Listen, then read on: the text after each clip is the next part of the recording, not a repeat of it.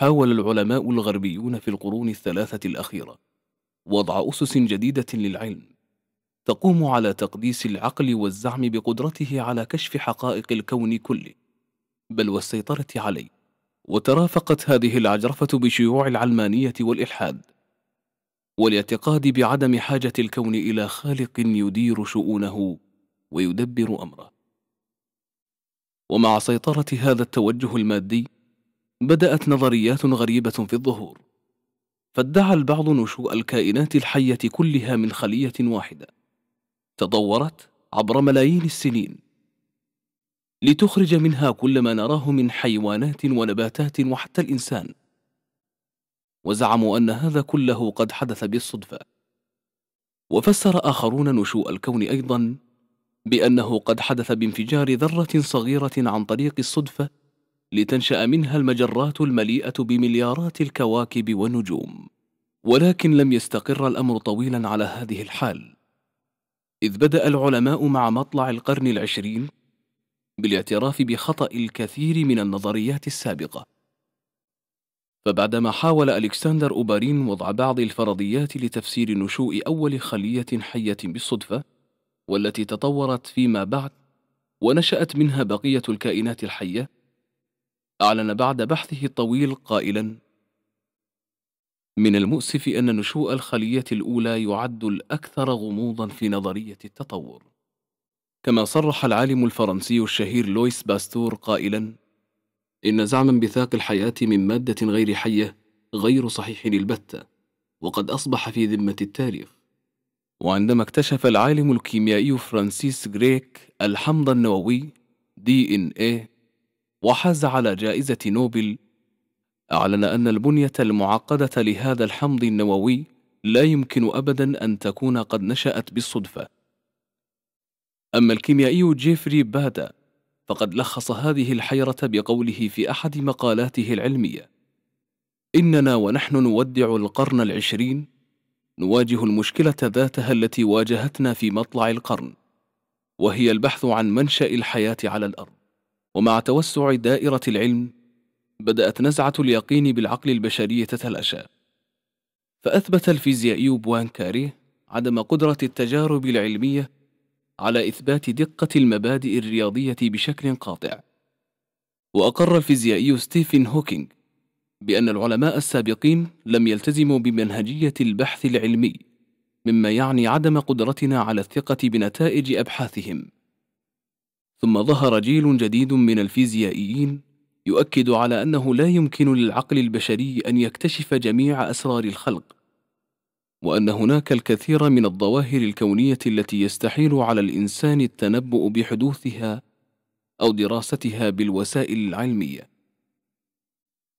وهكذا أعاد العلم نفسه للإنسان تواضعه رغما عنه حتى أصبح العلماء اليوم يقرون بحقيقة لا مفر منها وهي أن كل باب معرفة يفتح يكشف لنا عن أبواب أخرى مغلقة خلفه. وأننا كلما ازددنا علما بالكون اكتشفنا أننا ما زلنا نجهل أكثر مما نعرف. هذا البرنامج برعاية الكتاب المبين على نسمات الهدى والصفاء. على نسمات الهدى والصفاء. سبيل الرشاد بشير العباد رحيق الشهاد وقطر الندى. هو الزاد زاد العلا والدنا لزاد الحياة وزاد التقى. لزاد الحياة وزاد التقى. مشاعل خير تنير البلاد مناهل تروي أنين الجواد إذا هزك الشوق نحو السنا فجوال زاد رفيق السرى. فجوال زاد رفيق السرى.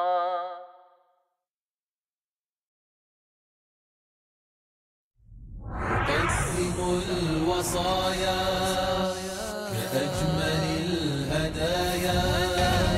كأجمل الهدايا الراصد.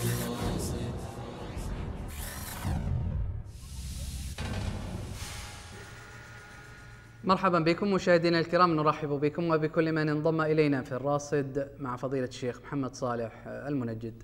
شيخ محمد حديثنا قبل هذا الفاصل حول مسألة أن آه، عجز هذه البشرية آه، لا يقتصر على مجال واحد في هذه الحياة بل يتعدد إلى مجالات أخرى في علم الأرض علم البحار غير ذلك من آه، هذه العلوم. نعم وأريد أن أضيف يعني إلى المسألة التي كنا وقفنا فيها في المرة الماضية في الفصل الفاصل السابق. نعم.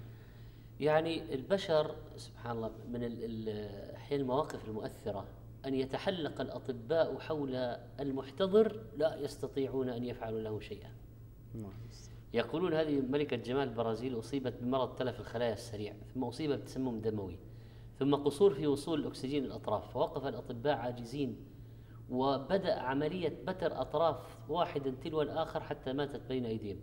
فلولا إذا بلغت الحلقوم وأنتم حينئذ تنظرون. إذا بلغت الروح الحلق حين الاحتضار وأنتم تنظرون المحتضر وما يكابده من سكرات الموت. قال تعالى ونحن أقرب إليه منكم ولكن لا تبصرون. نعم. نشرت جريدة الشرق الأوسط في يعني في عددها آه، عشر ألاف ومية واحد بعد أربعين دقيقة من تجويد من تتويج ملكة جمال الكون انهارت بعد مؤتمر صحفي عقب إعلان النتيجة وأخليت إلى المستشفى. في كل علم هناك أشياء يقف البشر عنها في عجز. نعم. مثلا يقولون لغز مثلث برمودا. لم تستطع الأقمار الصناعية والطائرات والدراسات أن تفكه. يقول بروفيسور وين ميتشيغان نحن نتكلم عن قوة رهيبة بلا حدود نحن لا نعلم عنها شيئا على الإطلاق. يعني يأجوج مأجوج معروف أن ذو القرنين أن ذا القرنين رحمه الله بنى عليهم السد جبل بين جبلين سد الجبلين بجبل. نعم. من حديد ونحاس. خلاص أغلق عليك الطريق. هم مكشوفين من الأعلى. لكن وين الأقمار الصناعية ما رصدتهم؟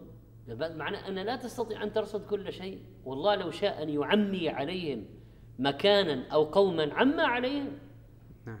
هم يقولون الوجود مليء بالمجاهيل شوف لو أخذنا عبارات الكفرة فيها اعترافات كبيرة الآن آه، ما يعني ما استطاعوا أن يفسروا كذا في أشياء في بناء الأهرامات في عدة فرضيات، في قضية التحنيط ماهية التحنيط لا زال في أسرار.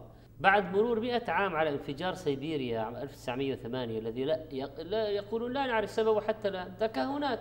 نعم. بلغت قوته أكثر من ألف قنبلة نووية تسبب في القضاء على أشكال حياة في مساحة كبيرة، أذاب مواد معدنية، قطعان حيوانات برية، حول يعني سيقان أشجار مثل أعواد الثقاب الإخفاقات العلمية في عدة مجالات مثلا يلا استمطار نزل مطر حمضي ما حصل ما نجحت ما ما هي مجدية. الاستمطار هذا بالذات. اي في إخفاقات كثيرة إخفاقات كثيرة.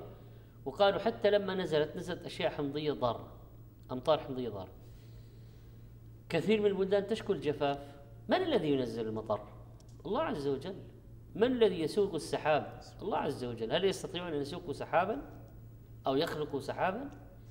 هم يقولون إذا كانت الفرصة مواتية بوجود سحب كذا كذا وكذا يمكن أن الاستمطار يعني حتى لابد أن تتوافر أشياء كثيرة. وعلماء البحار بعد أن بحثوا عن حل سريع قليل التكلفة للتقليل من نسبة ثاني أكسيد الكربون عن طريق تسميد مياه البحار بمشتقات الحديد صناعيا أثبتت التجربة التي أجراها فريق من العلماء الألمان والهنود عدم فعالية الفكرة أصيبوا خيبة أمل. يعني في أخطاء في في الحسابات في مفاجآت